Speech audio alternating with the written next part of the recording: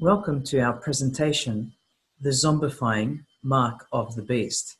My name is Katina Michael. I'm a professor in the School for the Future of Innovation in Society at Arizona State University, and I'm joined today by my colleague and husband, Dr. M.G. Michael, formerly of the University of Wollongong, who's a philosopher, historian, and theologian.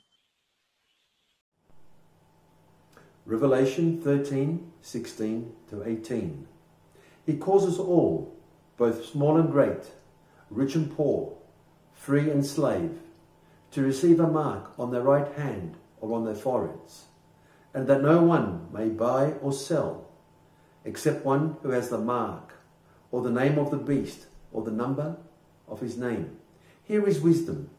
Let him who has understanding calculate the number of the beast, for it is the number of a man his number is 666. In Revelation chapter 13, 16 to 18, St. John, the seer of Patmos, describes a time in which people will have an existential decision to make on whether or not to adopt the mark of the beast. This mark would be a requirement for one to be allowed to engage in commerce, that is, buying and selling, Denying the mark would lead to suffering persecution by way of exclusion from the marketplace, including diverse discrimination. Now, the mark is a parody on Jesus Christ's seal of baptism.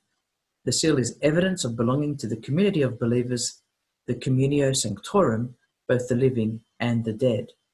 And the mark contains a number, 666, and is not necessarily physical or even visible.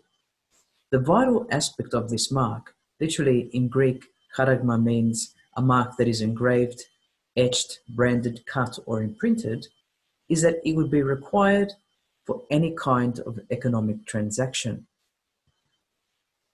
And so, our analogy to zombification of the marked is a total enslavement of the will and conscience these individuals, according to the author of the Revelation, will be unable to revert back to their former selves, thus being zombified.